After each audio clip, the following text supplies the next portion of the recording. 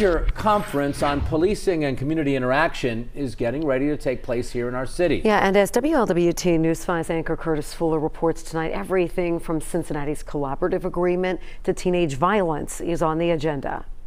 Strategies involving public safety, that's the focus of a three day conference here in Cincinnati that will look at where we've been, where we are, and where we're headed. It's a regional police accountability and public safety conference. It comes at a time when violence and guns are on everyone's radar, including the United States Attorney for the Southern District of Ohio, Kenneth Parker. We, you know, when I talk about the issues of violence, it bleeds into other areas with the firearms in the sense of postal robberies. There's no tolerance for that. Uh, individuals may want to say afterwards, I'm sorry. Sorry doesn't count.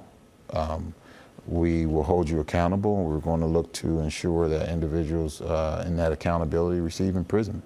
Iris Roley telling me problem solving and the collaborative agreement are among the other topics that will be front and center. What all started out of the refresh, report back to the community of this is what we've done, this is where we're lacking, what we need to do. Rowley says the discussion will include improving policies for youth police interactions, getting parents, community leaders, and police connected. Fortunately, somehow, Curtis, we've all stayed together uh, around this work.